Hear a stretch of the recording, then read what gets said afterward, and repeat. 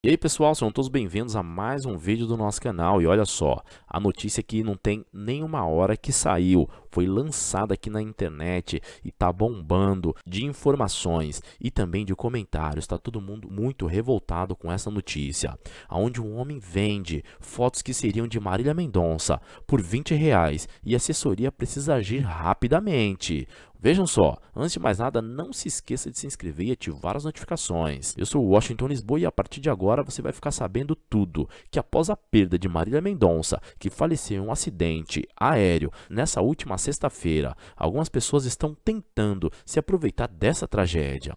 Um homem está comercializando fotos que seriam do corpo da cantora pelo valor de 20 reais e a assessoria da artista precisou agir rapidamente. A equipe que cuida da imagem da eterna rainha da sofrência, precisou se pronunciar nessa quarta-feira a respeito desse golpe que está circulando em aplicativos de troca de mensagem.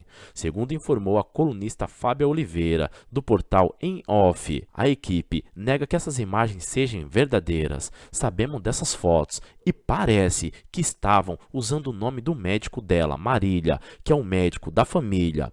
Eles os falsários estavam usando o nome de médico para falar que tinham fotos dela no IML, iniciou a nota da assessoria. Depois eles ressaltaram que ninguém tem essas fotos do corpo no Instituto Médico Legal e muito menos no velório. Eles disseram ainda que a situação é na verdade um grande golpe. Um policial precisou atirar para evitar que muitas pessoas roubassem os pertences de Marília Mendonça após a queda da aeronave na última sexta-feira no município de Caratinga, interior de Minas Gerais. De acordo com informações do portal de notícias G1, o homem precisou atirar com balas de borracha para evitar que o local não fosse saqueado.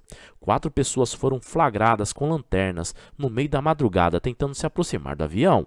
Olha aí, galerinha, mais uma notícia importante. O que você pensa sobre essas fotos que vêm sendo divulgadas falando que é de Marília Mendonça? Deixe nos comentários e também comentem o que você acha dessas pessoas que querem se aproveitar e acabar saqueando pertences dos famosos após o acidente. Também comentem. Eu vou ficando por aqui, mas espero vocês no próximo vídeo. Não se esqueça de deixar o seu like. Obrigado, tchau, tchau.